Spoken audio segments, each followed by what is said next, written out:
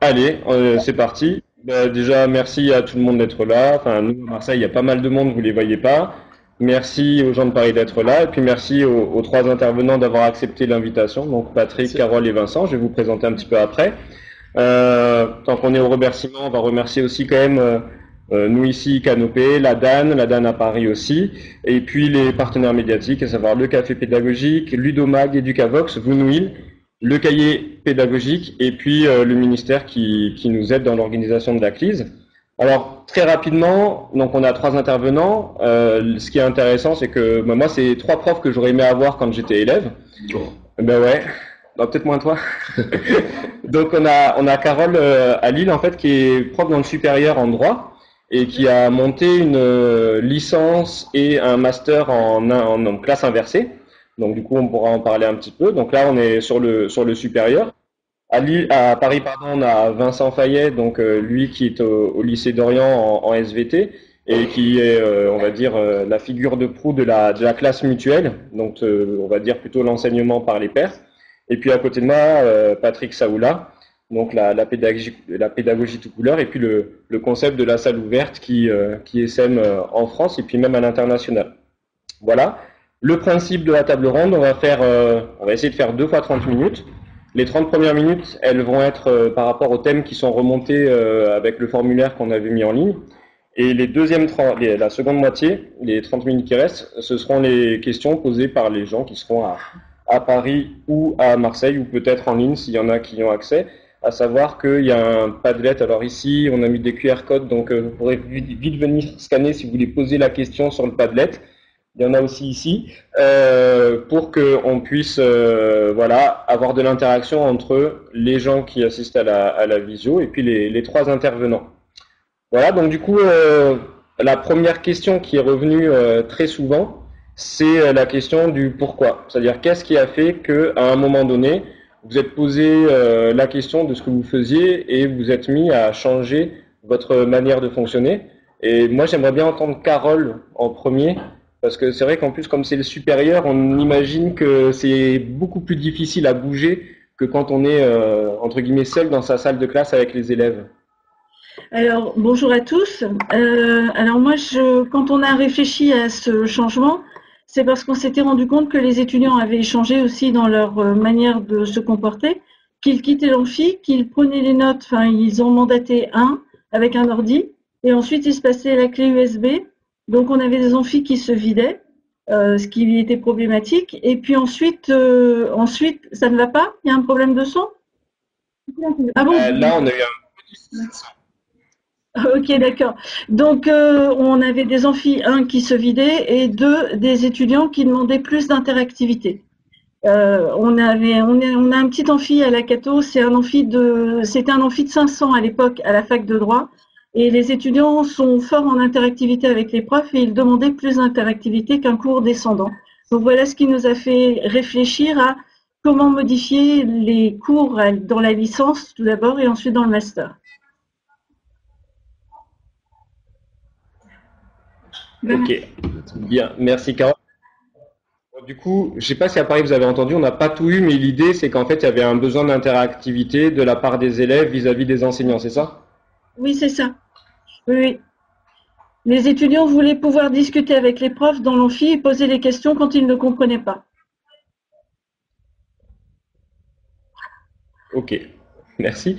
Euh, Vincent, peut-être toi, ton, ton changement, il, est... Euh, venu de toi ou il est venu de tes élèves? On a perdu Vincent. Patrick Ce sera plus pratique pour nous Alors, euh, non, je... euh, moi, c'est venu de, ma première euh, ma première heure de cours en fait en tant qu'enseignant. Euh, je sortais de, donc du concours et avec le niveau qu'on peut avoir très élevé dans le concours. J'ai enseigné ma première heure à des CAP APR en microbiologie. Et donc, ma première heure de cours qui était un vendredi à 9h, on se souviendrait toujours. Lorsque j'ai commencé ma, mon cours en microbiologie et que j'ai prononcé le mot micro-organisme, euh, c'est comme si je parlais chinois à, mes élèves et j'ai vu la différence de, de, de, entre les attendus, le niveau de mes élèves et ce que j'avais. Et je me suis dit deux choses. Premièrement, 30 euh, ans, ça va être très long. Pourtant, j'étais content hein, d'avoir le concours. 30 ans parce que tu as eu une carrière avant. Oui, j'ai eu une carrière avant. Et donc, euh, de suite, euh, je me suis dit, il va falloir se remettre en question pour pouvoir euh, leur faire passer ces notions. Et en même temps, moi, m'éclater dans, dans, ce métier que j'avais envie de faire. Et la deuxième chose que je me suis dit, c'est qu'est-ce que je vais pouvoir mettre en place à côté de mon enseignement, sur mon temps libre, mais dans l'établissement, qui va faire que tous les jours, ben, j'ai envie de venir. Voilà. Donc à partir de là, ça a commencé. Ben, Vincent, du coup, tu es de retour? Toi, qu'est-ce qui a fait que tu as, changé ta, façon de fonctionner? Alors, moi, déjà, à la base, je pense que euh, un enseignant disruptif. Euh, dès que j'ai commencé à enseigner, première année, je me suis retrouvé sans tuteur, donc j'ai été un peu livré à moi-même, ce qui m'a donné un peu le goût de l'expérimentation et, de travailler différemment. Ce qui a été vraiment un élément déclencheur me concernant, ça a été euh, de lire dans le dictionnaire de pédagogie de Ferdinand Buisson la définition de la salle de classe. La salle de classe est le lieu d'apprentissage où les élèves sont nécessairement assis, immobiles et silencieux. C'est une définition qui date du 19e siècle. Et un jour, à la fin d'un cours, je me suis retrouvé face à mes élèves, et là j'ai eu euh, la réminiscence de cette définition, et je me suis dit, mon Dieu, rien n'a changé. J'ai des élèves en face de moi, assis, immobiles et silencieux, et je leur ai dit que si on allait déterrer, pardonnez-moi l'expression, un enseignant du XIXe siècle pourrait tout à fait faire court étant donné que l'environnement est le même. Et donc, partant de là, nous avons modifié petit à petit la salle de classe. Donc, mon entrée, c'est vraiment une entrée par la salle de classe. Alors, est-ce que tu pourrais juste reprendre la fin? Parce que on t'a pas entendu en totalité Ah, ça s'arrêtait où donc, ce que je disais, ce que je disais, c'est que mon entrée, en fait, c'est euh, faite via la salle de classe. C'est la prise de conscience que la salle de classe n'avait pas évolué depuis euh, dans mon 100 ans, qui a fait que euh, je me suis dit qu'il fallait investir l'espace et qu'il fallait le faire surtout avec les élèves. Ok, merci. Je vais tenter un truc, c'est que je vais vous couper les micros quand vous ne parlez pas. On espère que ça, ça fonctionnera. Ok? On tente. Euh, du coup, alors la, deuxième question, c'est là vous avez expliqué quel avait été le, déclencheur de vos changements. La question qui revient souvent, c'est aussi comment ça a été accepté. Pourquoi? Parce qu'on est face à un public qui accepte ou qui n'accepte pas ces changements. Mais non seulement il y a les élèves, il y a aussi les parents, il y a éventuellement les collègues et l'administration. Donc la question, c'est comment ça a été perçu par ces, euh, ces trois ou quatre volets-là, c'est-à-dire les élèves, les parents euh, les collègues et l'administration. Et puis on va être galant, on va commencer avec Carole.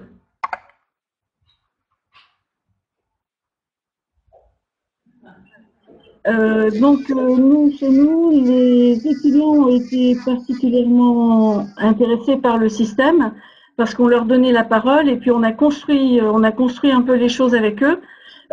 tout à l'heure, avant que ça ne commence, il y a un étudiant justement qui m'a aidé à construire cette licence inversée qui est passé. Donc, pour les étudiants, comme c'est fait avec eux aussi, euh, c'est accepté. Pour les enseignants, on s'est basé sur des volontaires. C'est-à-dire qu'on n'a pas imposé euh, le changement à tout le monde. Et je ne voulais pas parce qu'il faut que ça se fasse dans les meilleures conditions. Donc, on n'a pris que des enseignants volontaires sur les matières fondamentales. Et donc, euh, ça s'est bien passé. Euh, alors, on en est à la cinquième année, on est encore en train de régler régulièrement les choses qui vont euh, moyennement. L'administration a accepté aussi de jouer le jeu parce que je les ai accompagnés et on a véritablement mis les moyens en œuvre pour qu'ils puissent comprendre et ne pas se retrouver tout seul. Enfin, on a une secrétaire par année de licence il fallait pas que la secrétaire se retrouve toute seule à devoir gérer les emplois du temps, etc. Donc elle était accompagnée. C'est passé du coup euh, relativement facilement. Et pour euh, les parents, bah, on est quand même à la fac, euh, mais pour autant c'est une fac privée, donc forcément les parents sont partie prenante. Et eux, ils étaient intéressés par le fait qu'on allait travailler plus l'esprit critique, la discussion avec les étudiants, l'ouverture d'esprit, et ça leur ça leur plaisait véritablement. Donc on n'a pas eu véritablement de blocage euh, tout de suite. Par contre, il faut être hyper vigilant parce qu'on est à la cinquième année, on aurait quand même tendance à vouloir retourner systématiquement sur des choses qu'on connaît bien, le descendant, quand on arrive dans l'amphi, c'est quand même plus facile de venir, de faire son cours, que de dire, moi, je vais mettre en œuvre une activité, je vais les faire parler, je vais leur poser des questions et j'attends leurs réponses. Donc, c'est une vigilance de tous les jours. Mais au moment de la mise en place, c'était c'était accepté par tout le monde puisque ça s'est pas fait du jour au lendemain. Hein. On a travaillé pendant deux ans avant de faire cette licence inversée. Ok. Patrick? Je sais pas s'il faut remettre le micro. Non, nous on a le micro tout le temps parce qu'en fait, comme c'est nous et les autres, tu comprends, on a toujours le micro et je mettrai Vincent tout à l'heure. Et je vais juste couper Carole du coup. Je suis désolé, Carole. Alors moi, comment ça a été accepté Ce qu'il faut savoir, c'est qu'aujourd'hui, la salle verte 4 Lab, c'est le résultat de, de six ans en fait de nos six dernières années et de euh, tous les écueils et toutes les difficultés qu'on a pu rencontrer et que vous connaissez certainement, et je, dont je ne ferai pas la liste exhaustive aujourd'hui, on a essayé de répondre et de mettre une solution en face. Et le résultat a été ce nouveau lieu qu'on a créé, qu'on a réussi à, à, mettre en place au, au, sein des établissements. Mais tout est basé sur la base, tout est basé sur le volontariat en fait. Donc l'envie des élèves, le volontariat des professeurs, l'envie des partenaires, euh, le mécénat de compétences. Donc, à partir de là, tout est facile, c'est-à-dire qu'on s'enlève toutes les contraintes que l'on peut avoir, que l'on peut entendre. tout est basé sur l'envie, le volontariat. Donc, ce ne sont que des élèves motivés ou pas, qui sont juste curieux, des professeurs qui sont curieux, ou des chefs d'établissement ou d'autres. Et aujourd'hui, quand on nous appelle pour mettre en place ce dispositif, euh, on fait gagner, l'objectif c'est de faire gagner ces six ans de difficulté euh, par la formation que l'on a mis en place. Et en fait, c'est déjà gagné, c'est-à-dire que les chefs d'établissement qui nous appellent pour des formations d'établissement ont déjà un groupe d'enseignants qui sont partants. Et puis, euh, les plus faciles à convaincre, de toute façon, c'est les élèves. À partir du moment où vous leur laissez, vous leur ouvrez la porte et vous les écoutez, vous en avez plusieurs dizaines par jour. Vincent, du coup, alors, t'attends deux secondes, je te remets le micro. Tu peux y aller Non. Alors attends Vincent, parce qu'on t'entend pas. Je t'ai remis le micro pourtant.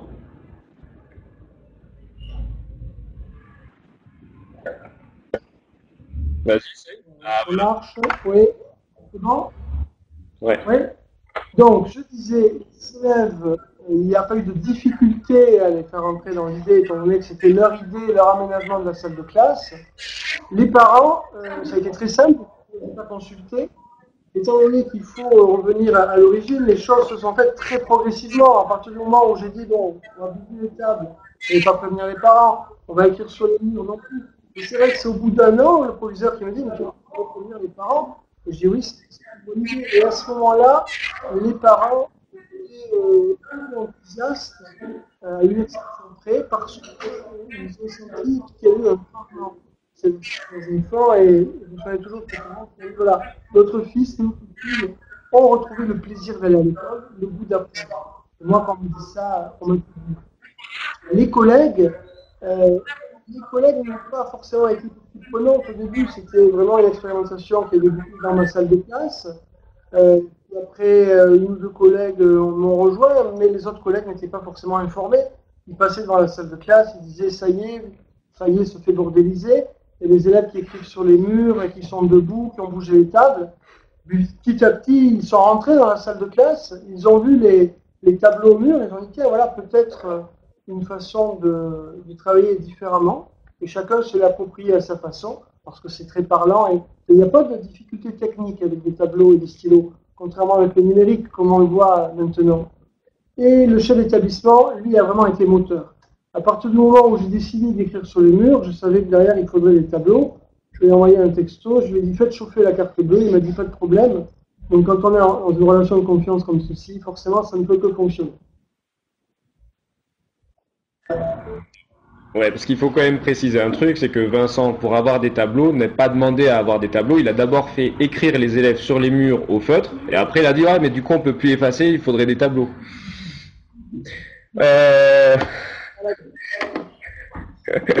c'est quoi, je te coupe le micro, Vincent, du coup. euh, du coup, puisqu'on est un petit peu sur ces aspects euh, de, matériel, euh, la, question c'est euh, souvent quand les, collègues ils veulent se lancer ou qu'ils veulent lancer un projet ou qu'ils veulent changer de manière de fonctionner, il y a toujours le problème des, justement le souci des problèmes qui soient matériels, qui soient financiers, qui soient horaires aussi, qui soient au niveau de l'organisation. Tout à l'heure, Carole, elle parlait de, la secrétaire qui pouvait pas être débordée si on changeait toutes les toutes les disciplines. Donc euh, peut-être rapidement essayer de voir euh, que vous nous expliquiez quels euh, problèmes vous avez éventuellement rencontrés et puis les solutions que vous avez pu mettre en place pour que justement ça, ça se passe bien. Puis on va changer, je suis désolé Carole, on va commencer avec Patrick. C'est juste que comme ça, ça me fait moins de micros à couper et à remettre. Alors, concernant le, le, le, frein numéro un qu'on pourrait avoir, mais qu'on a partout dans l'entreprise ou même dans, dans l'école, c'est le financier. Et nous, on est parti du constat euh, qu'on a appelé le double zéro. Euh, c'est-à-dire qu'il y a zéro pour les enseignants et zéro pour les projets. Donc il n'y a pas d'argent. Donc à partir du moment où on sait qu'il n'y a pas d'argent, tout est possible. C'est-à-dire que euh, s'enlève le premier frein qui pourrait nous faire dire bonjour, on veut faire quelque chose. Est-ce qu'il y a de l'argent? Non. Bah, alors du coup on s'arrête. Donc nous on sait qu'il n'y en a pas et on a développé toutes les stratégies possibles et inimaginables et donc, on s'est tourné vers l'extérieur. Donc, on est allé chercher des financements à l'extérieur. On a décroché notre téléphone et on a appelé, on a euh, vendu notre façon de faire euh, sur nos valeurs, sur notre façon de travailler. Donc, les partenaires sont venus énormément en mécénat de compétences ou en temps, en bénévolat ou en volontariat. On, a, on est devenu des spécialistes de, euh, de, pour répondre à des appels à projets. Euh, sur mon établissement, en deux ans, on a réussi à avoir plus de 60 000 euros de financement, d'argent. Et euh, je ne vous parle pas de tout ce qu'on a réussi à avoir en, termes de temps. Euh, et, ça fait partie de notre façon de faire, c'est-à-dire que là où on va, on va mettre en place toute une façon d'appréhender les projets et, et, le financement différente, c'est-à-dire qu'on va apprendre aux gens à aller chercher ailleurs, à aller euh, demander de l'aide, à faire appel aux compétences des élèves ou des autres professeurs. Et puis on se rend compte qu'il euh, il y a beaucoup, beaucoup euh, de gens qui ont envie d'aider. Et il y a beaucoup d'argent, mais pas forcément dans l'éducation nationale. On va continuer avec. allez, on va faire Vincent cette fois-ci. Je te remets le micro. On va juste espérer que ça marche rapidement. On t'entend toujours pas. C'est le temps que ça arrive de Paris, en fait. Ça va beaucoup plus vite de venir de Lille que de Paris. Vas-y, essaye. Paris-Bordeaux-Le Bon, là c'est bon, là. Donc, je disais, euh, j'ai bien apprécié ce que je, viens d'entendre. Donc, s'il y a de l'argent euh, et des gens qui ont envie d'aider, on va se voir là tous les deux, Patrick, qui va me donner des, des, noms, des adresses, puisque c'est une idée, il va parler en plus. C'est une euh, démarche très intéressante et qui n'a pas été la mienne, justement, d'aller chercher des, euh, investissements euh, privés. Ça n'a pas été le fond de ma démarche. Moi, ce qui m'intéresse, c'est la, salle de classe ordinaire. J'en ai vu des salles de classe magnifiques avec des tableaux interactifs sur les murs, avec des 100 mètres carrés au sol, avec des robots qui s'appelaient dans, la salle de classe. C'est des salles de classe un peu Star Wars. Moi, j'aime beaucoup la science-fiction, mais moi, ce qui m'intéresse, c'est la réalité quand on a vu des salles de classe, quand on a des étoiles plein les yeux et qu'on retourne dans sa salle de classe de 45 mètres carrés, comment on fait? Et, c'est vrai que moi j'ai toujours considéré qu'il fallait se débrouiller en interne, mais j'entends ce qui vient d'être dit et je pense que c'est peut-être une, voie à explorer, même s'il ne faudrait pas que les collectivités et les gouvernants se défaussent sur euh, les enseignants et leur débrouillardise. Mais aujourd'hui, c'est la débrouillardise. Aujourd'hui, les, tables et les chaises, on se débrouille pour les financer nous-mêmes. Euh, les tableaux, on les finance nous-mêmes. Euh, le canapé qui dans ma salle de classe, on l'a récupéré euh, pratiquement dans la rue. Alors, ce n'est pas sans poser des difficultés et, des problèmes de, réglementation, ça, c'est un autre point. Donc, la, première difficulté, c'est d'arriver à, à fédérer les énergies en interne. Il y a beaucoup de chefs d'établissement qui veulent mettre les moyens parce que ça ne coûte pas finalement très cher euh, d'équiper différemment les salles de classe, il serait temps, je pense, que les collectivités osent franchir le pas et euh, essayent des expérimentations euh, à plus grande échelle. Le, deuxième frein que, j'ai pu rencontrer, c'est un frein pédagogique. Parce que très souvent, les collègues ont, une bonne volonté et veulent vraiment tenter l'expérimentation. Mais souvent, le plus dur, c'est le lâcher prise. Euh, parce que moi, j'ai été progressivement euh, dans, dans, le bain, dans la marmite, et, et j'ai lâché prise progressivement. Un collègue qui arrive et qui se retrouve devant une classe mutuelle avec des élèves qui vont bouger, qui vont parler entre eux, qui vont circuler, parfois ça peut être un petit peu difficile. Donc ce qu'il faut faire, à mon sens, c'est y aller très progressivement. Voilà, tu peux me recouper le micro. Merci. C'est ça, je te coupe le micro et du coup je vais mettre le micro de Carole. Donc Carole, du coup, est-ce que pour toi il y a eu des, difficultés à mettre en place euh, d'un point de vue matériel? Il me semble qu'au niveau de l'organisation, notamment de la semaine, vous avez justement changé pas mal de choses entre la partie euh, amphi et la partie TD. Alors nous, on a, les, deux parties, effectivement. Il y a l'amphi et dans l'amphi, euh, dans l'amphi, le problème, c'est comment rendre le cours interactif avec un prof qui est en bas et 500 étudiants qui sont devant lui. Alors moi, j'avais adopté le système euh, des questions euh, vrai-faux et j'avais donné à mes étudiants des feuilles vertes et des feuilles rouges pour commencer. Donc, on n'avait pas forcément l'informatique au démarrage. Et surtout, pour moi, euh, je suis d'une génération un peu plus avancée, l'informatique n'était pas une évidence. Donc, j'utilisais ces feuilles rouges et ces feuilles vertes. Et puis un petit peu à la fois, ben, je me suis mise euh, à l'informatique, j'ai demandé au service informatique de m'aider et on a utilisé Moodle ou d'autres ou d'autres programmes qui nous permettaient de faire euh, interagir les étudiants dans l'amphi sans être obligés de sortir leur grande feuille rouge ou verte. Donc ça, c'est un premier point dans l'amphi. Alors l'amphi n'a pas été aménagé, on a juste demandé à ce qu'il y ait un peu plus de bandes passantes et plus de Wi-Fi euh, pour que tous les étudiants puissent se connecter. Parce que 500 qui se connectent en même temps, euh, il faut avoir de la bande passante. Par contre, euh, ce qu'on a essayé de faire, c'est aménager un certain nombre de salles de, TD, où là, on prend les étudiants en plus petit nombre pour les faire travailler de manière différente. Mais je rejoins Vincent, hein, il m'arrive d'avoir des salles de TD qui résonnent comme si on était dans le fond d'une église, et euh, j'ai pas de tableau sur les murs. Ben, je prends le paperboard, je scotche les feuilles sur, euh, le mur et les étudiants écrivent quand même hein, sur les murs. Il n'y a pas de, il n'y a pas de souci, mais on peut, on enlève le paperboard et comme ça, il n'y a pas de problème pour effacer non plus après. Donc, euh, on utilise tout ce matériel et je suis d'accord, en fait, euh, il faut utiliser ce qu'on a sous la main et les étudiants préfèrent ça à, des salles hyper, alors ils aiment bien hein, des salles qui sont hyper bien équipées avec des murs, avec des, des tableaux partout, des feutres de couleur, etc. Mais moi, je, ils sont pas, alors sont des juristes, c'est peut-être ça, mais ils sont pas trop euh, trop utilisateurs du numérique. Ils aiment bien écrire avec le crayon euh, sur le mur, mais pas pas le pas le numérique, les rétroprojecteurs, etc. Voilà. Et du coup, pour la, la partie TD, est-ce qu'il y a eu des aménagements qui ont été faits euh, ah oui. Parce que là, parler de l'amphi, en TD, est-ce qu'il y a des choses qui ont été faites de manière particulière? Oui, alors nous, on a aménagé les cours et les TD. Le cours a lieu euh, le lundi, les TD ont lieu par exemple le jeudi et le vendredi, donc sur la même semaine. Et on a dû aménager les emplois du temps des étudiants. Oui, euh, ça, ça a été la grosse prise de tête.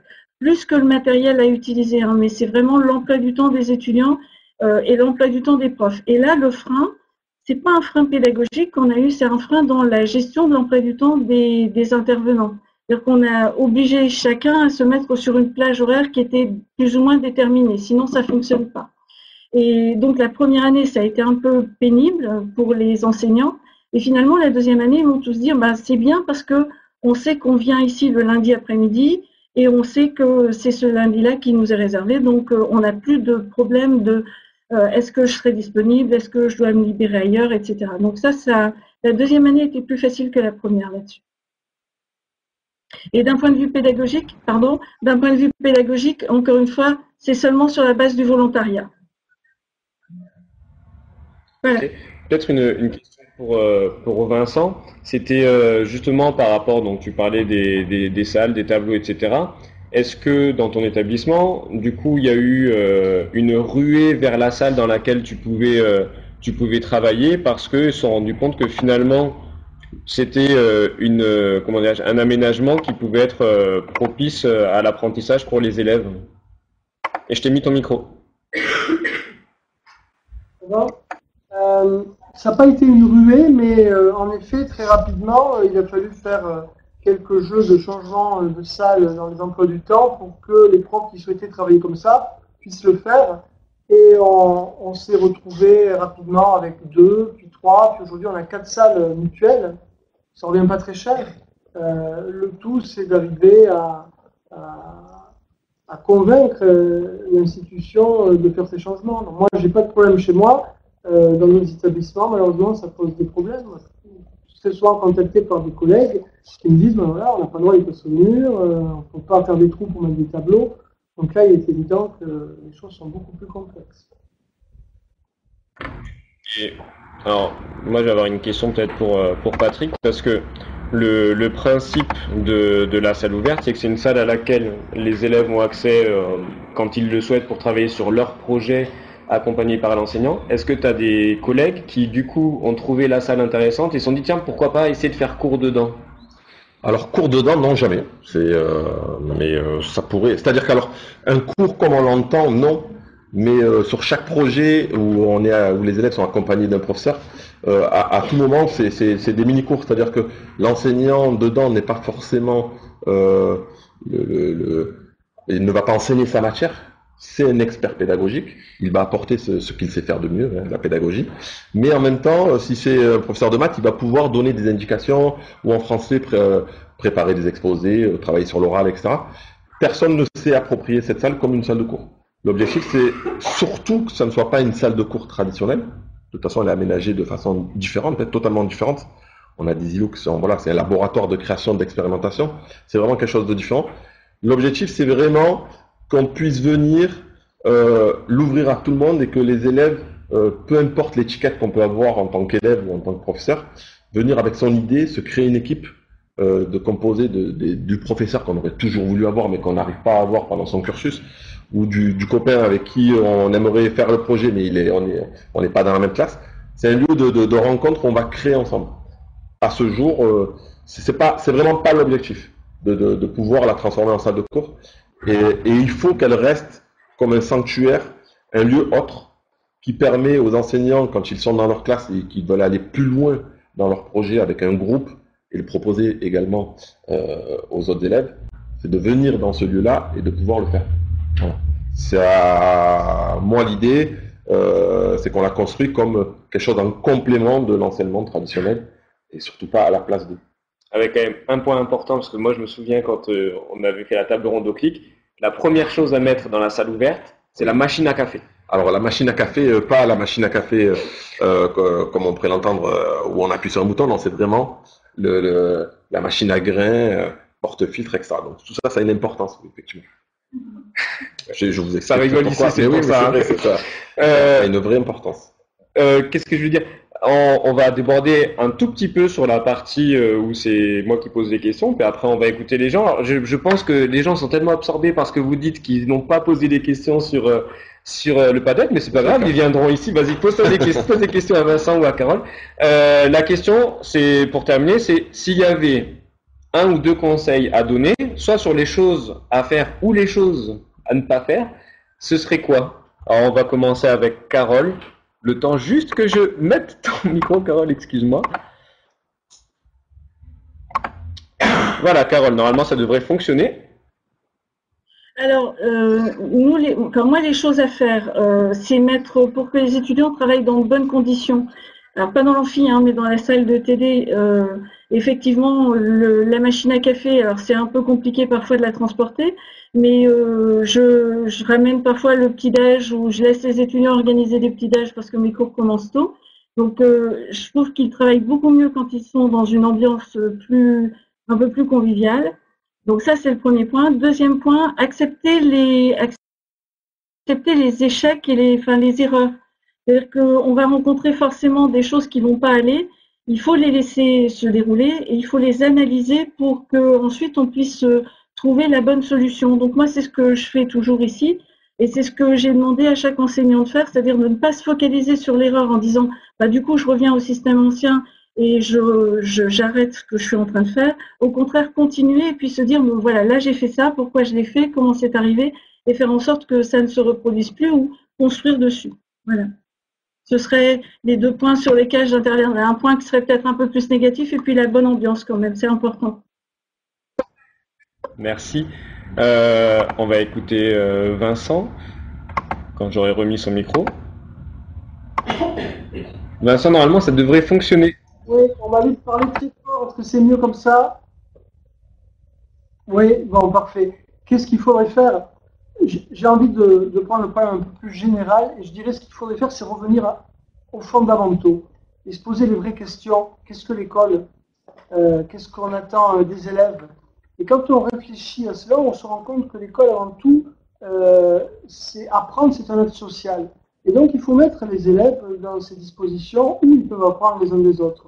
Euh, ils s'en sont déjà rendus compte au XIXe siècle, euh, on s'est même rendu compte bien avant, il serait temps au XXIe siècle qu'on on utilise tout ce qu'il est possible d'utiliser pour mettre les élèves dans les dispositions qui feront que l'école sera utile. Et donc, il faut se poser les vraies questions. Euh, qu'est-ce que le plaisir d'apprendre, qu'est-ce que le corps de l'élève? Et qu'est-ce que l'acte d'apprentissage? C'est un peu large, mais pour moi, c'est vraiment les véritables questions qu'il faut se poser.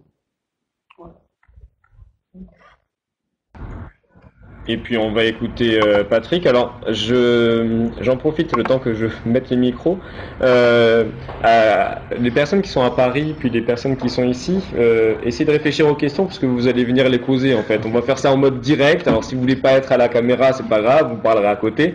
Mais euh, voilà, vous allez pouvoir poser là où les questions que, que vous avez. Patrick, du coup un conseil, truc à faire, truc à éviter? ben moi je vais partir de mon expérience et comment est-ce qu'on a construit ça. C'est-à-dire que euh, l'idée, c'est de pouvoir proposer à tout le monde tout ce que l'on sait faire, tout ce que l'on a appris à faire avant d'être un enseignant ou un élève, c'est-à-dire toutes nos compétences que l'on a à l'extérieur de l'établissement et dans lesquelles on peut s'épanouir. Hein. Euh, certains font de la danse, de la guitare, ou peut-être font du codage, etc. C'est de pouvoir venir les proposer, les mettre au service des autres dans ce lieu-là, et pour nous redonner, je vais pas dire redonner, mais donner envie de rester dans l'établissement, de construire des choses avec les élèves. La deuxième chose euh, que, alors j'en ai plein, mais je, vais, dire que la deuxième chose, c'est que si un jour vous ouvrez un lieu comme ça et que vous avez un élève qui passe la tête, ne le laissez pas partir. Parce que s'il vient, c'est qu'il a quelque chose à proposer, c'est qu'il a envie de se valoriser par rapport à quelque chose, et donc il faut de suite rebondir sur ses idées et pouvoir l'amener sur, euh, sur quelque chose qu'il pourrait présenter aux autres. Donc ça, c'est vraiment euh, se faire plaisir et, euh, faire plaisir aux élèves. Ok. Euh, et puis moi, je, vais me permettre d'ajouter un truc, c'est aussi d'essayer de travailler à plusieurs. C'est-à-dire que ah dès qu'on est à plusieurs, c'est quand même beaucoup plus, beaucoup plus facile. Ça ne veut pas dire qu'on ne peut pas le faire tout seul, mais c'est quand même, ça permet d'aller beaucoup plus vite. Et puis surtout, je sais pas vous, mais systématiquement, quand on met en place quelque chose, il y a une phase d'excitation où tout va bien, et puis après, il y a un bon coup de mou où on se rend compte que finalement, il y a des difficultés, qu'il faut se remettre en cause, qu'il faut effectivement modifier, euh, voire des fois, on n'est pas loin d'arrêter. Et le fait d'être à plusieurs, ben, ça permet souvent de pouvoir passer cette, cette étape-là. Alors, est-ce que on va commencer avec Paris? Est-ce qu'à Paris, il y a des gens qui ont des questions? Ou eh, non, avant ça, est-ce que par hasard, il y en a entre vous trois? Est-ce que vous voudriez vous poser des questions à vous trois? Alors, on a bien compris que Vincent, il aimerait bien poser une question à Patrick pour toucher des sous, mais euh... alors il y a Adrien qui lève la main. Je vais, je vais mettre le micro à Paris parce que visiblement il doit y avoir une question. Pour ma question des sous, mais on, verra ça tout à l'heure en chambre, non? On va diffuser ça comme ça. Donc on s'appelle tout à l'heure. Madame Sylvia avait une remarque euh, concernant les financements peut-être. Je vous laisse prendre la parole. Oui, bonjour à tous. Je suis Cardi. Il ne faut pas oublier les Cardi parce que c'est vrai que euh, on n'a pas forcément euh, les mêmes moyens d'une académie à l'autre, mais on a pu, euh, on a pu au moins accompagner et puis s'aimer parce que je pense que l'important c'est de faire connaître et donner envie aux autres, moyennant après accompagnement quelques heures. On a aussi financé quelquefois l'achat de matériel, mais enfin c'est relativement peu important. La question justement qui m'est posée, euh, qui a été posée pour euh, l'aménagement d'un Fab Lab, euh, c'est est-ce qu'on peut demander à des mécènes du style, je ne veux pas citer de nom, mais par exemple le roi Merlin, quel est le cadre juridique? Moi j'ai interrogé la, la, direction des affaires juridiques, c'est pas si simple que ça, parce qu'il faut quand même se dire que c'est du donnant-donnant, et jusqu'où on peut aller. Hein. Donc tout ça, c'est soumis à des conventions. Donc les collectivités territoriales, oui, j'imagine que c'est beaucoup plus simple. Demander voilà, des dons de, matériel des, à des entreprises, je pense que c'est déjà plus compliqué. Donc comment avez-vous pu faire du point de vue juridique? Parce que malheureusement, on ne peut pas y échapper. Hein. Alors on va. Carole, tu veux réagir ou? Alors attends, hop, je mets le micro, désolé, hop, tac. Ouais, ouais. Hein.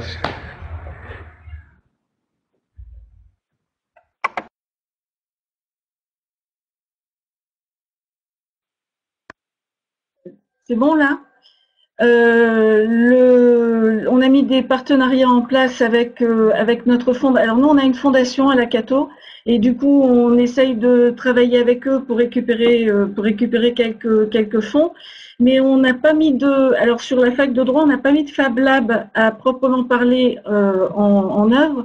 nous, on utilise toutes sortes de moyens pour faire travailler nos étudiants. Moi, j'utilise des Lego, euh, j'utilise les plateaux de jeu, j'ai détourné le Monopoly, etc. Que ce soit dans l'amphi ou dans la salle de dans la salle de TD, l'amphi avec 120 euh, personnes, c'est un peu sportif, mais on peut faire euh, on peut faire des choses. Les Lego, j'aime avec plus de 12 étudiants, mais ça veut dire des petits investissements quoi. On achète j'achète j'achète sur le bon coin ce que je peux trouver et puis j'ai le feu vert de la, de la secrétaire générale qui me qui me donne qui me donne les moyens de, de le faire.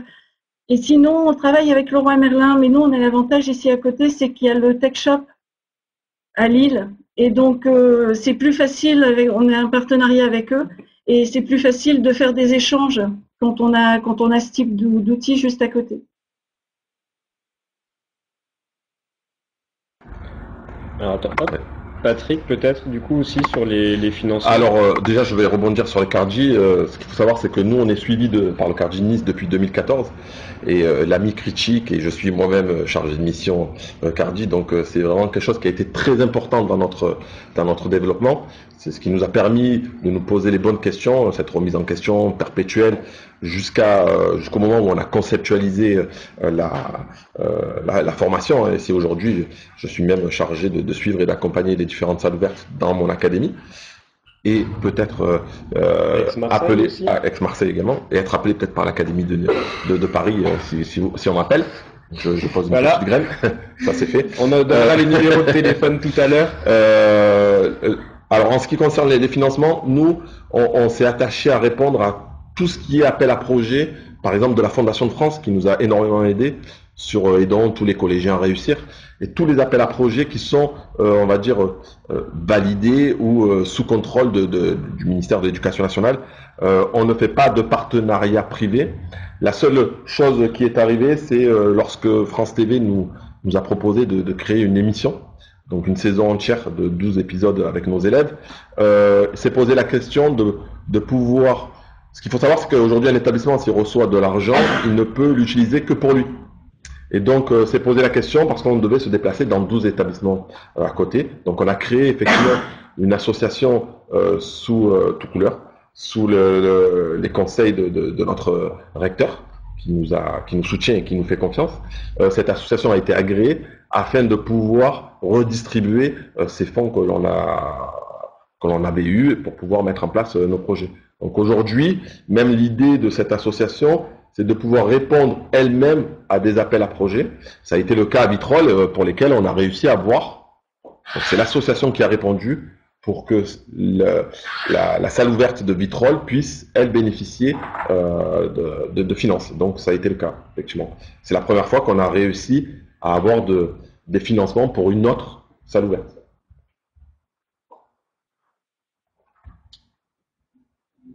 Ça répond à votre question?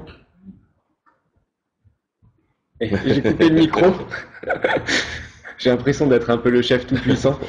Euh, est-ce qu'il y a des questions, d'autres questions à Paris? Euh, J'ai vu sur le Padlet qu'il y avait une question qui était par rapport à l'impulsion donnée par l'administration sur euh, justement les pratiques, on pourrait dire innovantes ou alternatives ou d'expérimentation. la question qui est posée, c'est est-ce que vous avez le sentiment que les directives ministérielles, justement, favorisent ce type de, pratique-là? Vincent, tiens, je te, donne la, question. Alors attends. Il y a eu. Normalement, c'est bon là. C'est bon? Eh bien, on y va. Il y a eu ces 10-15 dernières années un, virage, un, véritable changement euh, de l'institution vis-à-vis euh, de l'innovation. Euh, l'innovation a, traditionnellement dans notre maison été vue d'un œil un peu retors. Et puis, 10-15 ans, l'innovation a vraiment été portée. Et le flux a changé, il est devenu, il est parti de la base pour aller au sommet. La classe inversée en est un exemple. La classe inversée, ça n'a pas été porté par l'institution, ça a été porté par les enseignants. Une innovation qui vient des enseignants, et l'innovation l'a porté et euh, a aidé euh, à l'émergence de, ce type d'innovation. Donc là, on a un changement pour ce qui est de notre administration centrale. Le problème, c'est que moi, dans ce qui m'intéresse, ce sont les espaces. Et l'espace est sous gestion des collectivités collectivités territoriales, ça va être les régions, les départements euh, ou les mairies. Et là, on se renvoie un petit peu la balle. Quand je vais euh, euh, voir les, régions, je, pense que j'essaie de me renseigner, savoir qu'est-ce qui fait qu'au XXIe siècle, on construit encore des salles de classe comme au XIXe siècle, un peu plus policé dans mes questions. Et on me dit, ah, ben ça, c'est les directives de l'éducation nationale. Et quand je vois l'éducation nationale, et que je leur dis, mais pourquoi vous donnez des directives du XIXe siècle aux régions? Ils disent, non, il n'y a pas de directive, les régions font ce qu'elles veulent. Donc ça, c'est un point vraiment à creuser qui m'intéresse, et je, vais, vais, trouver la réponse sous peu. Euh, mais c'est un point qui est central. Euh, aujourd'hui, on a trois entités, les enseignants qui travaillent, euh, l'institution centrale qui a des idées, et les régions qui les mettent en œuvre. Et ces trois-là ne se parlent pas, et tous les jours, j'ai des exemples, euh, encore aujourd'hui, une collègue qui m'envoie un message pour me dire, voilà, on va euh, rénover mon établissement, mon lycée, je n'ai pas accès à la région, mon chef d'établissement n'a pas envie de contredire les plans euh, qui sont proposés et qui ne nous conviennent pas, comment contacter la région? Et la région est incontactable. Donc ça, c'est des problèmes réels auxquels, à mon sens, il faut répondre rapidement. Je vais bien ajouter quelque chose. Oui, je, pense que on a, on a toujours la parole? Mais si, si, si, j'ai laissé. Si, si. si, vous l'avez. Non, je pense qu'il y, y, a une prise de conscience quand même. Et là, j'entendais, je viens d'une réunion où on est en train, la région est en train de travailler à l'aménagement d'un nouveau lycée. Alors, d'accord, c'est un nouveau lycée, mais je crois que euh, on, on, va aller de plus en plus vers, euh, alors ça mettra des années, hein, mais euh, vers un partenariat région euh, pédagogie, architecture. Je crois qu'aujourd'hui, c'est. Je, crois que cette association, elle est entendue.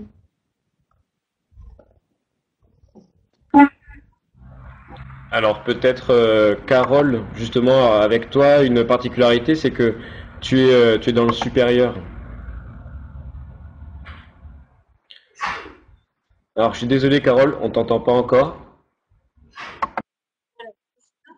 Alors nous, on a, on est, on est, on a cette tranquillité d'esprit par rapport, par rapport à vous, c'est que on est indépendant et en tant que fac privé, on doit se débrouiller pour financer nous-mêmes ce genre de choses. Donc les appels à projets, les appels à projets FEDER, etc.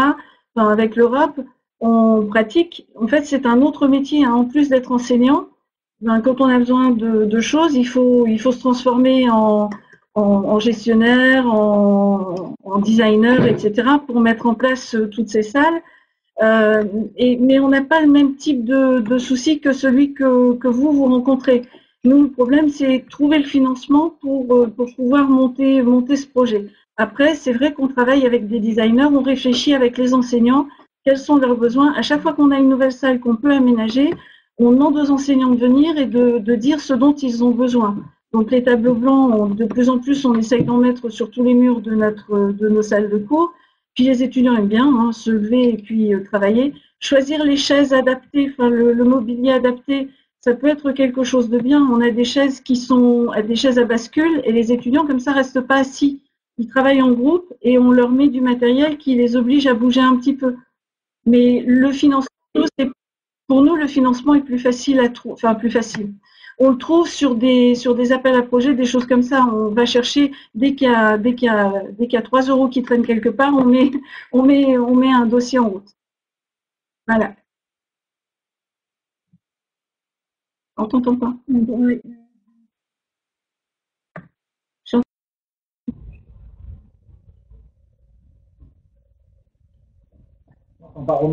Alors c'est lui qui est censé. On t'entend pas Romain.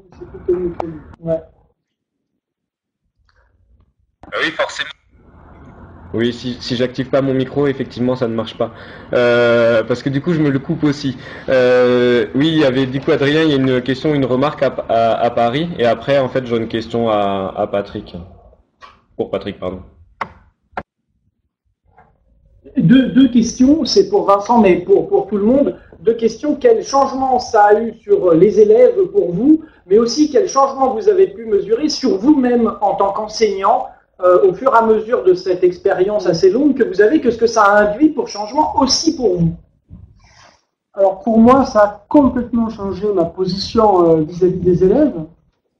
Euh, et je dois dire, au début, ça a été un regret parce que j'ai fait ce métier d'enseignant parce que j'avais un côté un petit peu théâtral et j'aimais bien être devant mes élèves, faire le show et, et faire mon, petit cours bien polissé, bien réfléchi.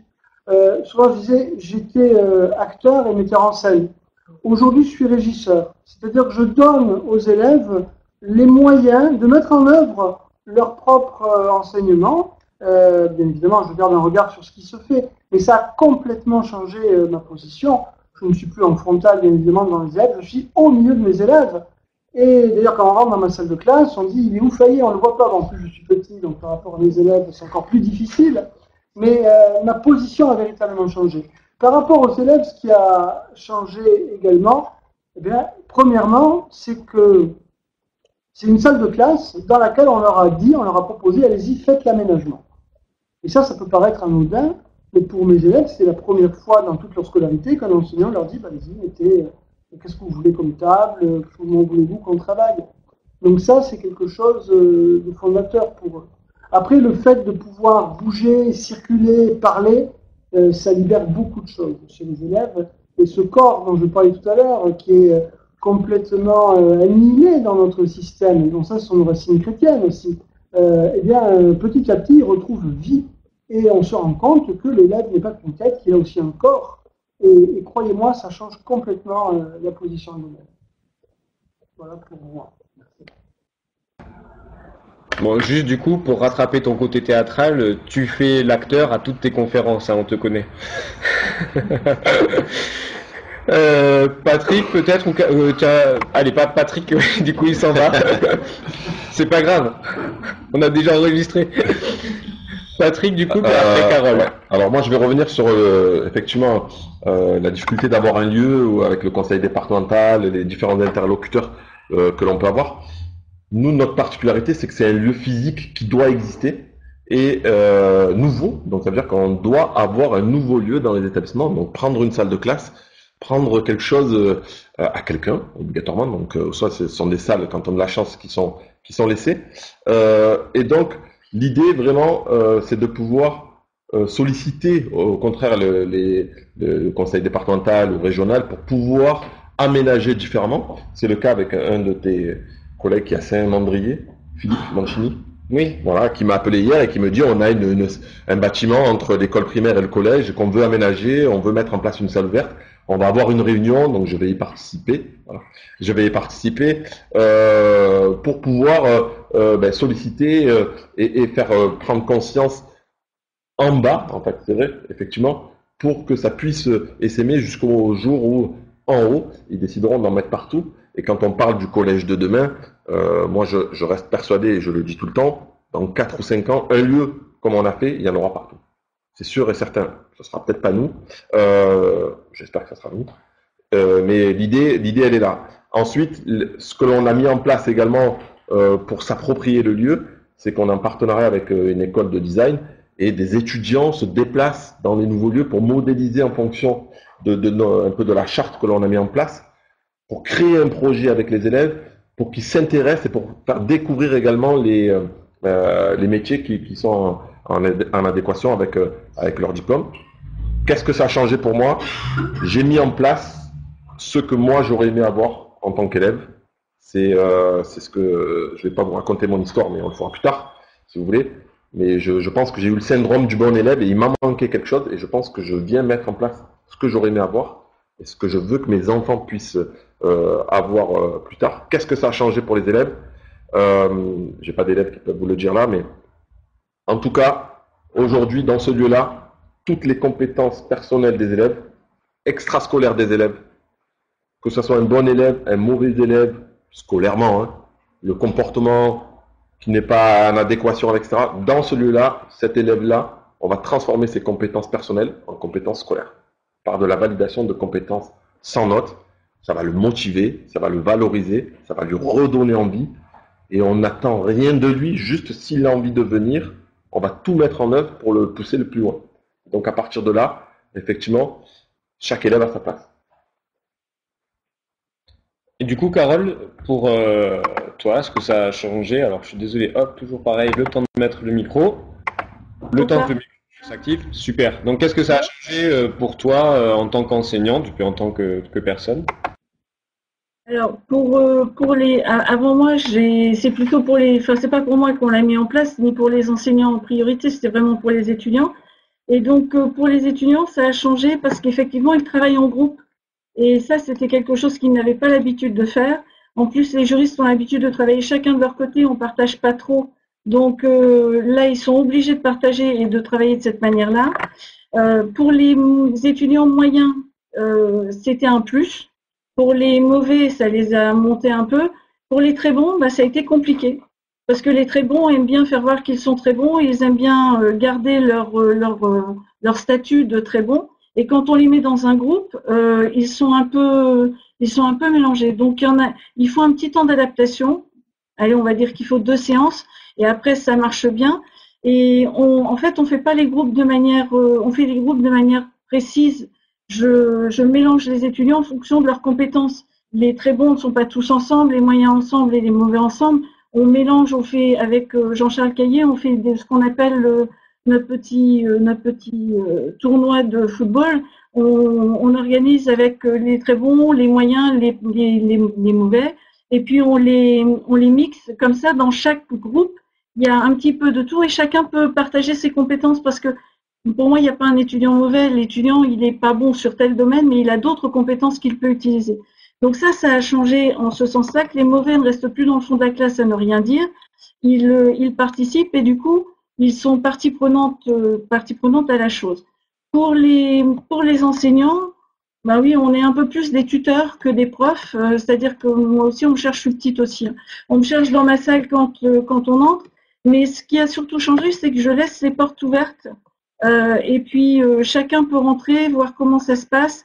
Et ça aussi, ça a été un changement pour les étudiants, c'est-à-dire que quand on a voulu mettre ça en place, on a dit il ne faut pas qu'on le fasse en petit, en petit comité restreint et qu'on se fasse plaisir nous mais qu'on montre aux autres comment ils pouvaient faire éventuellement sans être obligés de se jeter tout seul dans le grand bain. Donc ils sont venus, ils ont regardé et on, travaille finalement maintenant de cette manière-là. Et pour les profs, c'est vraiment, une autre manière de travailler. Par contre, ça demande beaucoup plus de travail, préparation.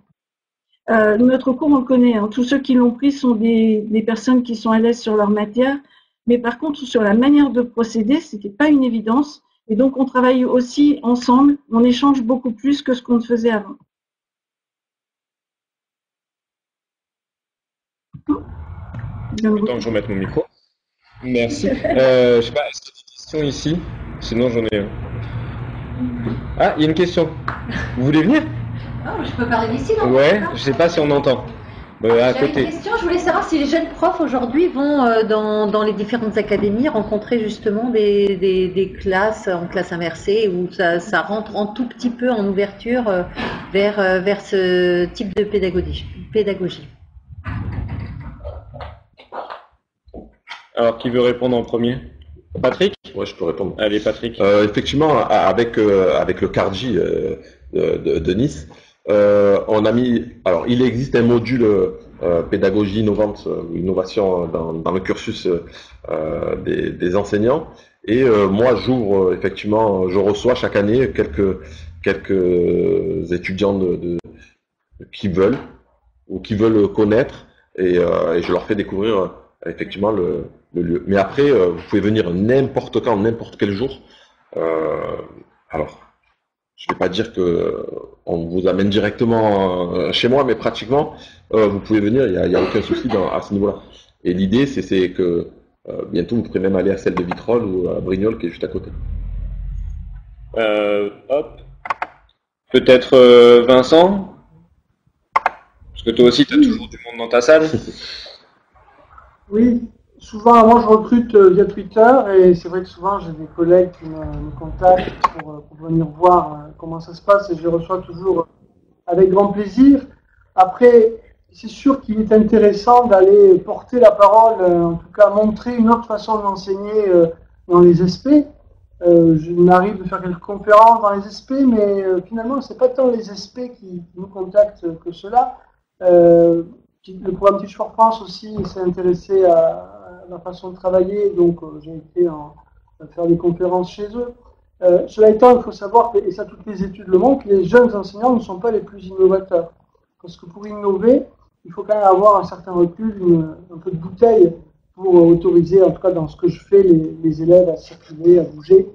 Euh, il ne faut pas être tout frais sorti de l'SP, à mon avis. Je peux te dire qu'il y a des gens de enfin, des étudiants de l'ESP qui sont en train de tirer la tête. Carole, du coup, hop, alors je remets le micro, je suis désolé, c'est toujours pareil.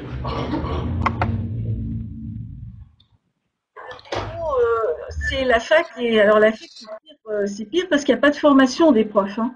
Euh, à la fac, l'enseignant euh, soutient sa thèse et puis voilà, il va passer le concours de maîtrise de conférence et il est jeté dans le grand bain, il n'y a pas véritablement de, formation. Alors, on a un décret récemment qui a décidé qu'il fallait euh, donner des, heures de cours de pédagogie aux jeunes enseignants, euh, ce qui fait qu'on peut maintenant former les enseignants à l'innovation pédagogique. C'est vrai que c'est mieux quand ils ont du recul, mais c'est possible aussi euh, dans la mesure où ils sont volontaires. Enfin, moi, moi je vois pas pourquoi un jeune ne pourrait pas, enfin, ne le ferait pas. C'est mieux quand on a de la bouteille, mais si on est volontaire, ben, on va y arriver quand même. Hein.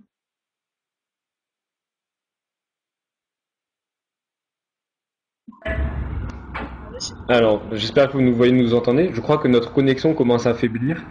Ça va, il est 15h, on aura fait à peu près euh, l'heure. Euh, moi, je me permets juste, du coup, comme on est lors de la CLISE euh, organisée par Inversion la classe, pour rappeler quand même un des principes fondamentaux de cette semaine-là, c'est justement le fait que les collègues ouvrent leur classe et que effectivement partout en France, mais aussi euh, en Martinique, en Guadeloupe, on a des classes qui sont ouvertes. En Amérique du Nord, il y en a aussi. Enfin, dans la francophonie, on a beaucoup de classes ouvertes et justement des collègues qui viennent sur leur temps personnel, parfois en faisant pas mal de routes euh, pour justement observer des pratiques euh, qui sont peut-être différentes des leurs ou pour euh, un peu de développement personnel. Alors, il y a Adrien qui relève la main. Je vais remettre le micro. C'est super pas pratique, mais c'est pas grave. Carole, je suis désolé, je coupe. Oui, donc c'est Adrien qui, qui redemande la, parole pour moi parce que que les choses soient, claires. Je n'ai pas dit que les jeunes enseignants n'innovaient pas. J'ai dit que toutes les études, et François Scro a travaillé très longuement là-dessus, montrent que ce ne sont pas, contrairement à ce qu'on pourrait croire, les tout nouveaux, les jeunes enseignants qui sont les plus innovateurs. Maintenant, bien évidemment, euh, euh, je rassure les, jeunes étudiants de, l'SP, il n'y a pas de problème, on peut être un jeune enseignant et être disrupteur, forcément. Voilà, c'est tout. Alors, il est, on a dépassé un peu 15 heures, mais comme on avait commencé un peu avec du retard, qu'il y avait eu des, soucis au départ, est-ce qu'il y a encore des questions? Je sais pas si, ah, il y, a, bah, il y a deux questions ici, donc on continue un petit peu si ça vous dérange pas. Il n'y a pas de souci, Carole, c'est bon, on peut euh, déborder un tout petit peu? Allez, euh, venez, ouais. Est-ce que ton portable vocabulaire, ah. ah, Cardi, ah, c'est les conseils académiques en recherche, développement, innovation et expérimentation. D'accord. Je me suis pas trompé Non, c'est ça. et la deuxième question, est-ce que euh, l'un d'entre vous pourrait décrire sa première fois, la première séance? Ah, la première fois, c'est toujours. Hein. Ah, On parle de pédagogie, attention, hein, Vincent. Euh, Patrick, tiens, vas-y, ta Ah ben. euh, la première fois où il y a eu un élève qui est venu dans ta, dans ta salle ouverte. Ah, dans la salle ouverte, la, la première C'est fois. ça, hein, c'était par rapport à la première fois dans sa nouvelle pratique. D'accord. Euh, comment Alors la première. ah, Là, je m'en souviens pas parce que. Mais merci Patrick. Ouais, voilà. non, je. je Tu sais je- quoi, tu je- réfléchis, on va écouter, on va écouter euh, Carole ou, ou Vincent, la première fois que, du coup, vous- peut-être Carole, tiens, allez, la première fois que les élèves, enfin les étudiants, ils sont rentrés et que plutôt que d'avoir euh, une licence euh, ou un master classique, ils ont eu un, un, un master ou une licence en, en classe inversée. euh, comment ça s'est passé? Mais du coup, ton- du point de vue de l'enseignant, on est d'accord? Alors, comment ça s'est passé pour toi? Oui, oui. Euh, ben, les étudiants étaient super surpris parce que j'avais 120 étudiants dans l'amphi et je leur ai distribué des cartes pour faire des groupes dans cet amphi. Et donc, quand ils m'ont vu distribuer les cartes, ils se sont demandé ce qu'il allait se passer. Et ensuite, on a ouvert la négociation sur la manière dont on allait travailler. C'est et, c'était assez surprenant parce qu'ils avaient déjà fait les groupes avec les cartes. Avais distribué des cartes. euh, des, tous les rois de cœur devaient se réunir, toutes les, les, dames de pique, etc. Et en fait, ils se sont mis tout de suite en groupe et eux, ils ont tout de suite adhéré sans aucun problème, alors que je m'attendais à ce que ce soit beaucoup plus compliqué à organiser. Voilà. C'est bon. Peut-être Vincent, si tu as envie de raconter. Le micro, Vincent, première. Alors toi, en plus, il n'y a pas eu tellement de premières fois puisque ça s'est fait de manière, euh, comment dirais-je, euh, enfin, ça allait crescendo. Mais quand tu as eu tes premières séances, comment ça s'est passé euh, pour toi? Ce que dit Lucie euh, sur le chat, il n'y a pas vraiment une première fois, ce sont des premières fois. Moi, ce qui m'a le plus marqué, et je m'en souviens toute ma vie, euh, systématiquement, quand j'ai commencé la classe mutuelle, il n'y avait qu'une surface d'interaction, c'était le grand tableau. Et les élèves se battaient pour être sur ce grand tableau. Alors on l'a séparé en deux, puis en trois, et puis c'était toujours, il y avait toujours des déçus. Et je me souviens toute ma vie, la, la- fois où j'ai dit, bon, bah, écoutez, on a des murs, vous prenez la règle et vous tracez des tableaux sur les murs à la craie, on va écrire sur les murs. Là, ils m'ont regardé, on dit, ça y est, il a pété un plan. J'ai dit, non, allez-y. Et puis, ça a été transgressif, donc, bah, c'est le pauvre qui l'a dit, donc ils ont commencé, puis ils ont commencé à écrire sur les murs tout timidement. Et là, j'ai compris qu'il se passait quelque chose, parce que bon, l'ambiance de la classe était un peu surpris de cette consigne pour le moins euh, disruptive. Moi, je savais où j'allais quand même. Hein. Euh, mais voilà, c'était ma première fois qui m'a le plus marqué, en plus de la première fois où j'ai rencontré Romain, bon, ça, j'en parlerai pas. Voilà. Ça, ça m'a coupé le chien. Du coup, rien à dire. J'avais encore coupé mon micro. On a deux questions sur, euh, sur Marseille, donc euh, on va continuer un tout petit peu. De toute façon, c'est moi qui décide. Je, je crois. Mais vous pouvez. Vous savez quoi? Hop, allez. Non, mais non. Voilà. Bonjour. Donc moi j'avais deux questions concernant, euh, vous faisiez allusion tout à l'heure aux, aux échecs que vous avez rencontrés. Donc c'est une question assez générale. Quel genre d'échecs avez-vous donc euh, rencontré et comment vous avez pu les gérer? Et euh, comment préparer une séance? Donc euh, avec les élèves Alors, qui veut commencer? Non, pas moi. Pas toi? Alors, Carole?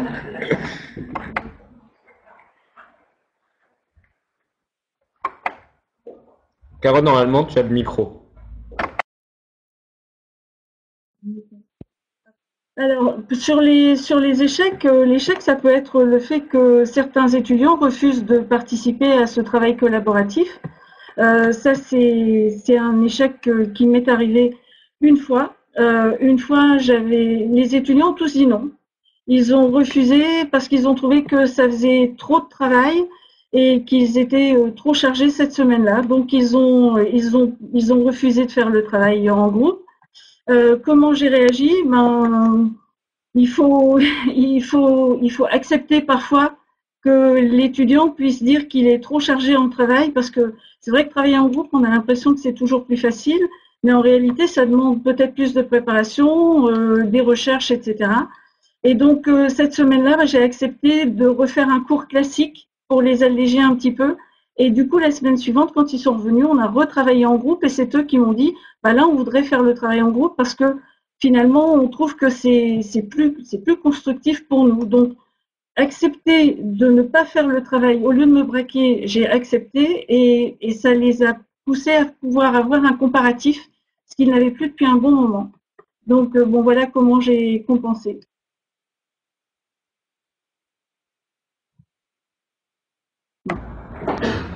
Allez, Patrick, comme tu es à côté de moi, du coup. Alors, euh, les échecs. Euh, alors, si je pouvais résumer la salle ouverte euh, Lab aujourd'hui, je pourrais dire que la salle ouverte, c'est le résultat de 7 ans d'échecs. Voilà. Donc, euh, d'où l'importance de l'expérimentation, de se remettre en question et de réessayer. Aujourd'hui, c'est ça. Effectivement, au bout de 7 ans, tous nos échecs nous ont conduit à créer ce nouveau lieu. Bon, et je préfère le dire hein, quand même pour ceux qui regardent, il a quand même été dans les 50 finalistes du Global Teacher Prize, malgré ses 7 ans d'échecs, c'est quand même, euh, hein, ça donne un peu d'espoir à tout le monde. Alors, hop, je vais mettre le micro pour Vincent, parce qu'après ils vont croire que j'ai quelque chose contre Vincent. Alors, T'as le micro, micro, Vincent, normalement. Alors, il y a deux questions en fait. L'échec, euh, on a vécu un échec cuisant l'an dernier. L'an dernier, au lycée d'Orient, on a fait une classe de première S entièrement en enseignement mutuel. C'est-à-dire que les élèves étaient dans une salle de classe, ils ne bougeaient plus, c'était les enseignants qui bougeaient, et tous les enseignements étaient en enseignement mutuel. Tous les enseignements, les langues, l'histoire, les maths, etc. Ça a été un échec. Je me dit, tiens, pourquoi? On a réfléchi. Et en fait, on s'est rendu compte que cet échec, il vient du fait que l'on avait en amont, forcément, sélectionner les élèves pour cette classe-là. On a été euh, les recruter dans les différentes secondes en allant voir les, professeurs principaux. Et les professeurs principaux disent, ah oui, celui-là, il n'est vraiment pas adapté au système. Ah, celui-là, il a besoin de bouger. Ah, celle-ci, euh, il sera bien. Ah, celui-là, il, est un peu précoce. Ça ne va pas du tout dans le système traditionnel. Et donc, on a fait une, une salle, de, une classe qui n'avait pas de tête de classe, on se retrouve avec une armée mexicaine d'élèves qui n'étaient pas adaptés au système. il nous a manqué une tête de classe pour pousser. Euh, ce qui fait la force de l'enseignement mutuel, autrefois et aujourd'hui encore, c'est l'hétérogénéité. Et donc, on avait lissé cette hétérogénéité. Aujourd'hui, cette année, on a fait complètement différemment. On a une vraie tête de classe, et ça, c'est forcément utile. L'enseignement mutuel se nourrit euh, de l'hétérogénéité. Euh, ensuite, il y avait une autre question sur comment euh, on fait une leçon, euh, quelle est la place aussi de la leçon dans ce type de classe, comment on travaille. Pour moi, ça ne m'a pas rajouté du, travail parce que avant mes séquences de cours, c'était vraiment à l'ancienne, c'était 1h30 de, discours fort, fort passionnant, mais des discours quand même. Eh bien aujourd'hui, ce poli que, je, je, dictais à mes élèves pendant une heure et demie, je le distribue. alors je ne le fais pas en classe inversée, mais on pourrait. Moi, je le distribue et je fais 20 minutes de cours. Euh, sur ces 20 minutes de cours, je vais appuyer sur les points qui sont les points euh, euh, difficiles pour les élèves. Et je sais qu'à l'issue de ces 20 minutes de cours, mes bons élèves, entre guillemets, ils, ont compris et ils sont aptes à aller travailler différemment. Et après, il y a une partie mutuelle où les bons ou les moyens vont discuter entre eux, s'entraider en travaillant avec des exercices sur les tableaux ou en renvoyant le cours. Et moi, je vais plutôt m'occuper des élèves qui sont en, difficulté, voire en grande difficulté. Et il peut m'arriver de passer 30 ou 40 minutes avec euh, une seule élève. Ça m'arrive encore dernièrement en génétique. J'ai une élève qui ne comprenait rien. Et j'ai passé quand même 30 minutes avec elle, chose qui était impossible dans le système traditionnel. Et à l'issue euh, de cette partie mutuelle, il y a un temps euh, de synthèse où je vais corriger avec les élèves les exercices qui sont faits sur les tableaux et euh, tout le monde se quitte avec le cours bien compris, en règle générale. Voilà. On ne se redonne pas la parole. Merci. Alors, c'était le temps que je remette le micro. Je suis désolé. En même temps, j'essaie de regarder les messages parce qu'il y a quelqu'un qui pose une, une question. Euh, comme il est 15h12, on va peut-être euh, faire que ce soit la, la dernière. C'est une question qui, euh, à laquelle vous avez vous êtes peut-être confronté, c'est justement la question euh, de se dire, vous, vous fonctionnez comme ça, vous avez un mode de fonctionnement qui vous est propre, euh, même s'il y a des collègues qui peuvent euh, vous rejoindre. c'est la question de la difficulté pour les élèves qui sont habitués à un mode de fonctionnement qui vont se déshabituer éventuellement de ce mode de fonctionnement quand ils vont être avec vous, et qui ensuite vont, devoir à nouveau se remettre dans un moule, on va traditionnel ou transmissif, avec d'autres enseignants. Et donc, est-ce que c'est pas un peu déroutant pour ces élèves, justement, de passer d'un mode de fonctionnement à, un autre? On va commencer, euh, bah tiens, Vincent, comme tu as encore le micro, et ensuite ce sera Carole.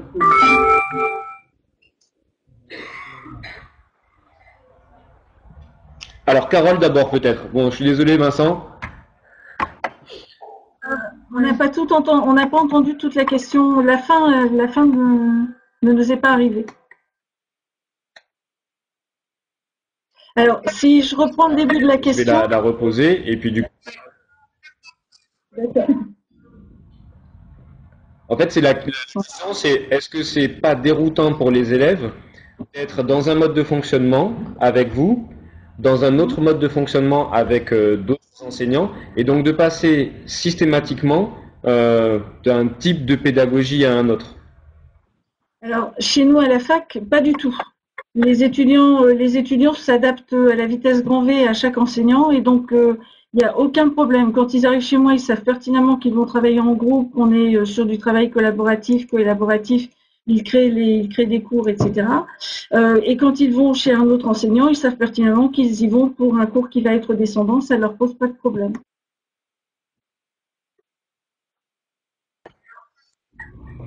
merci Carole. On va écouter euh, Patrick et puis après euh, Vincent. Alors, la, la, grande différence que l'on a, c'est que nous, ce, ce, ne sont pas des cours.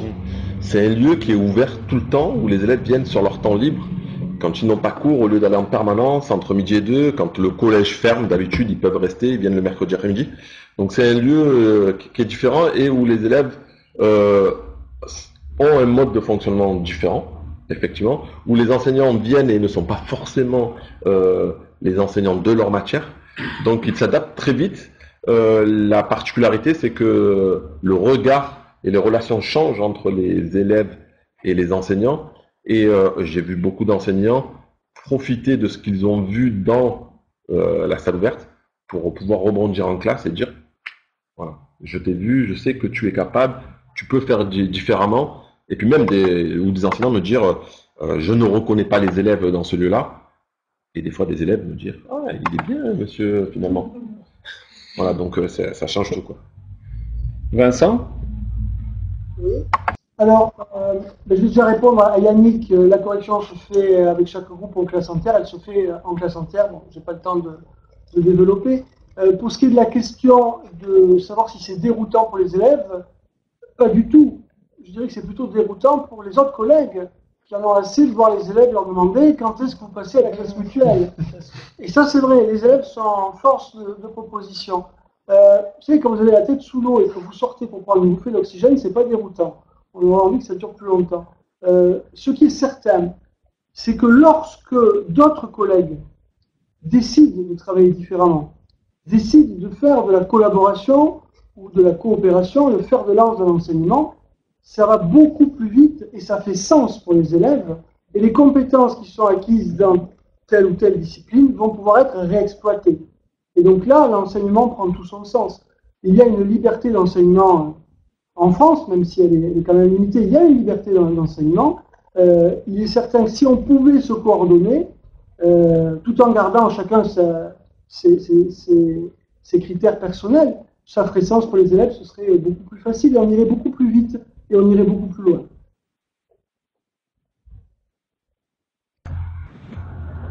Bien, alors, je suis désolé, on pourrait rester, je pense, des heures à vous poser des questions et à vous écouter, mais L'heure tourne. ici, on a un peu un programme parce qu'on a des ateliers qui, vont suivre. Et puis, on va aussi faire en sorte qu'il y ait des échanges euh, à Paris euh, avec Vincent et puis ici avec Patrick. je voulais vous remercier tous les trois. Un très gros merci à Carole parce que c'est vrai que Carole, bon, euh, on se connaissait pas du tout. Et je te remercie pour la, disponibilité et le, enfin voilà, les, réponses, enfin l'éclairage que tu as pu nous apporter sur sur ce que vous faites à Lille. Euh, Vincent, merci aussi, parce que Vincent, il faut dire ce qu'il n'est pas du tout fan des trucs en visio. Et j'avoue que Je suis mieux maintenant que tout à l'heure vers 13h55, je vous le cache pas.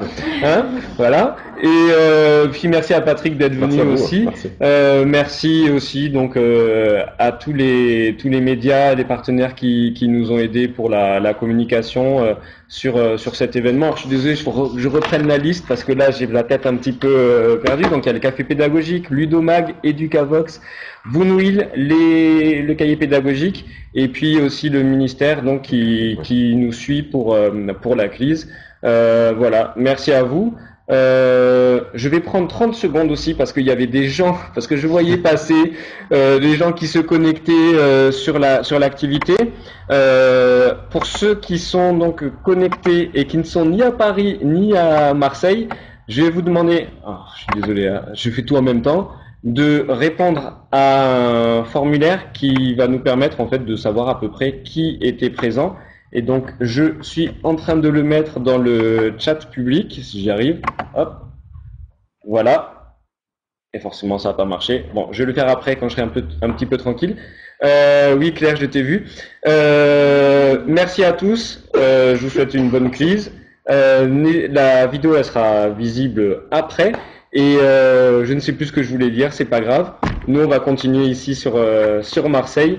Encore merci à, vous trois, puis surtout aux gens qui étaient là. Merci.